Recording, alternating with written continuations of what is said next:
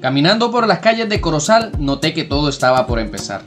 Delante de mí unas pelas más malas que un buche de gas tirando sucios hasta decir ya no más. Todos ya se estaban reuniendo en los balcones, un lugar estratégico en los últimos 10 años, en donde todos esperan la batalla de flores para disfrutar de la noche. Estando dentro de una terraza, saludé a un primo y al lado me di cuenta que el rebusque estaba a tiro de piedra. Mientras las fiestas pasan, muchas personas buscan la forma de rebuscarse, ya que allí pueden salir los pesos para la comida o para la fiesta más tarde en la noche. Caminando unos metros más adelante, la cosa se iba poniendo buena.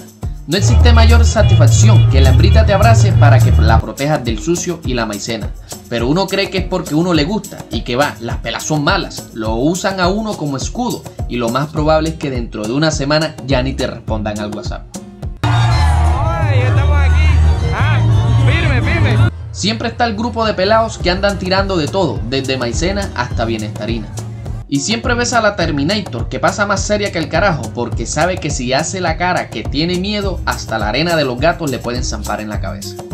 Estando por los lados de la esquina caliente, me encontré un amigo que es más loco que un trompo en patio de colegio, que por cierto es bartender y chef y prepara excelentes platos.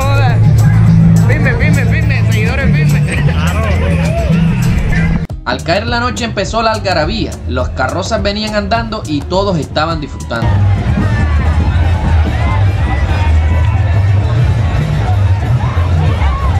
me encontraba de toda clase de personajes del pueblo. La policía venía abriendo trocha, como uno dice vulgarmente, ya que se acercaban las carrozas para los lados de los balcones. En una terraza alta del otro lado de la calle estaba Jorge Barón diciendo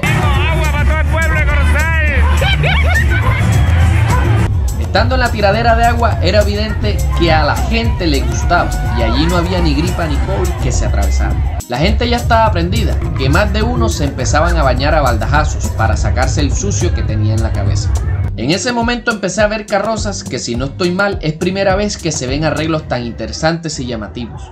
Eso quiere decir que el carnaval de Corozal está cogiendo poco a poco prestigio y elegancia, dado que el carnaval se empezó a celebrar desde el año de 1967 y eso quiere decir que ya tiene 55 años de tradición. La recocha se ve en todos lados, la gente brincando y tomando.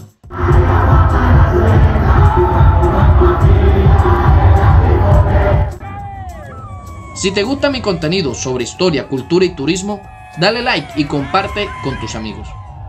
Siempre está el que carga una bomba de fumigar cargada con agua helada para echarle a la gente y que cuando esta agua le cae a la gente en la espalda parecen gusanos en tártara caliente de la retorcedera que les cae. La noche seguía en su vacile y todos felices. Eso es muestra que el ser humano es un ser sociable que no es capaz de soportar un encierro como el que pasó en la cuarentena. Y así termina la noche llena de algarabía, felicidad e infidelidad. Es que digo, de cosas fascinantes.